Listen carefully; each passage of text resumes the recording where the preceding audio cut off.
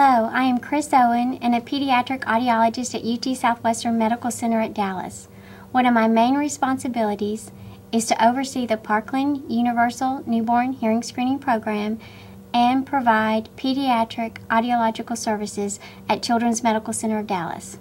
Today I'm happy to have the opportunity to talk with you about the Diagnostic Auditory Brainstem Response or ABR evaluation.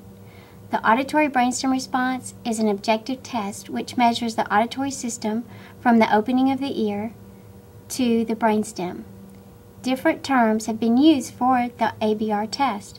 For example, the test has been referred to as an evoked auditory potential test and BAER, brainstem auditory evoked response by physicians. It is the same evaluation with a different name. The ABR is completed by placing sensors on your baby's forehead and behind each ear.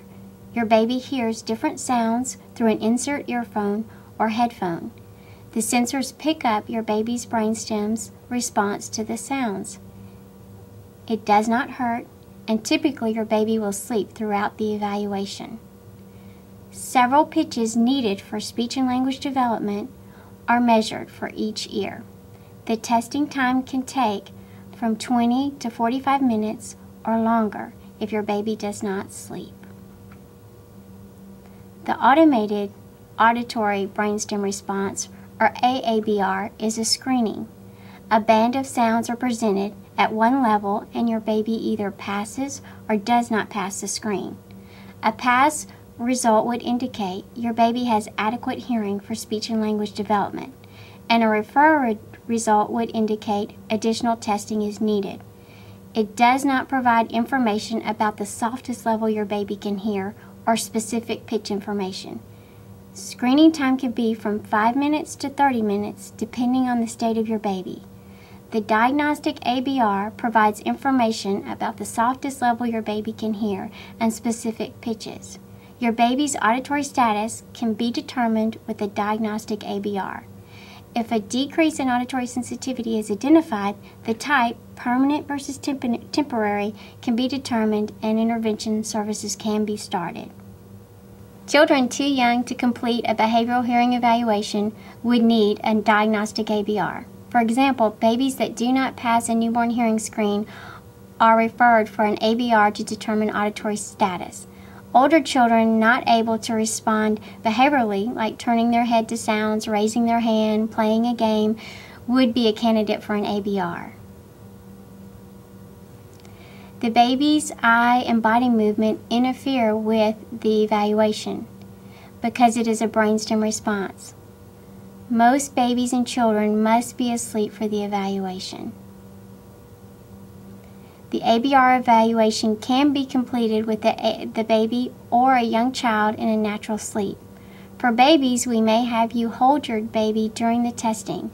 We will always attempt to complete the test, regardless of the age, without sedation if parents feel the child will sleep for 45 to 60 minutes. For older children, if cooperative, the testing can be completed while they are sitting and relaxed with their eyes closed. If the patient is not able to stay still or asleep, they may need to be sedated to obtain accurate results. Here are some tips to help your child sleep through the diagnostic ABR evaluation. Audiologists will want to complete the testing when your baby or child is asleep. Consider your child's sleeping routine when you schedule the ABR appointment so that the secretary can schedule the appointment as close to this time as possible. The audiologist will review how the testing will be completed and how eye and body movement interfere with the test. We will discuss the goal of the test, which is to obtain the information needed to determine auditory status or to obtain additional information. We will give you the following instructions prior to the day of your appointment. Please sleep deprive your baby before the evaluation. For example, please keep him or her up late the night before and wake up early the, ne the next day. Please do not let them take a nap if possible. Also, if you are coming from a distance, it is helpful to have someone come with you to keep the child up during the car ride. Please be prepared to feed your baby or child before the evaluation so that they will go to sleep. The testing is completed in a private room and you will be able to hold your child throughout the evaluation. If your child prefers to sleep in a car seat or bouncy seat, please bring these with you to the evaluation. If your child has a special blanket or animal that is a comfort to them, please also bring this to your appointment. If we are not able to obtain the information in the time allotted for the appointment, we may have you come back to complete the testing again.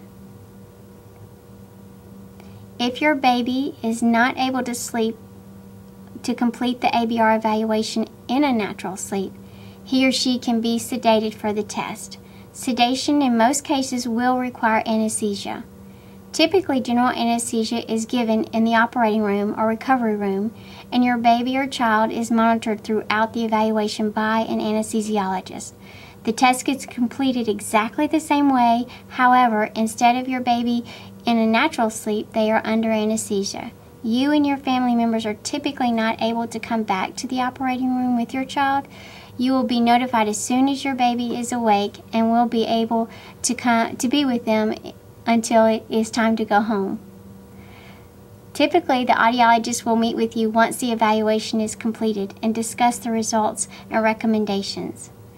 Recommendations are typically made based on the results in your baby or child's history information. We hope you found this information helpful. For more information, please view the additional links for this module posted on the Texas EHDI statewide campaign website, including a list of helpful terms. Thank you for joining us.